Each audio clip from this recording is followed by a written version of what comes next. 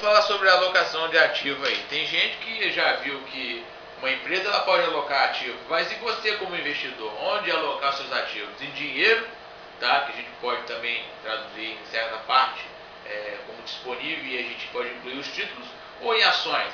Bom, para isso você deve ter o quê? Ah, ter a direção do mercado. Bom, como que eu vou saber a direção do mercado?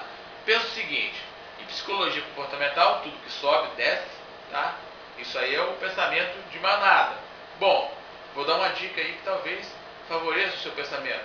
Então, se você consegue imaginar, tirando os mercados de baixo, mais que uma ação de uma empresa, um mercado em um ano, começou um declínio, sei lá, de 20%, claro que os mercados de baixo duram em média dois anos, tá? na grande maioria. Isso a gente está falando de mercado global.